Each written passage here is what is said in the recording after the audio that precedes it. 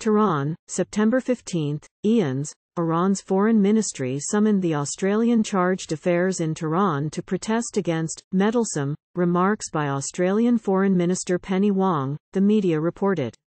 The Australian diplomat was summoned to the Iranian Foreign Ministry on Wednesday in the absence of Ambassador Lyndall Sachs and was notified of Iran's strong protests against the meddlesome remarks by the Australian Foreign Minister and Australia's new anti-Tehran sanctions, the report said on Thursday.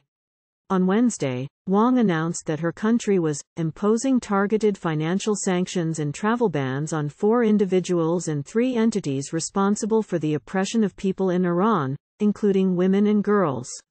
The sanctions were imposed in the run-up to the first anniversary of the death of Mahsa Amini, a 22-year-old girl who died in a Tehran hospital on September 16, 2022, following her collapse at a police station just days before, Xinhua news agency reported. Iran's English-language press TV news network is among the sanctioned entities. Protests and riots erupted in Iran following Amini's death.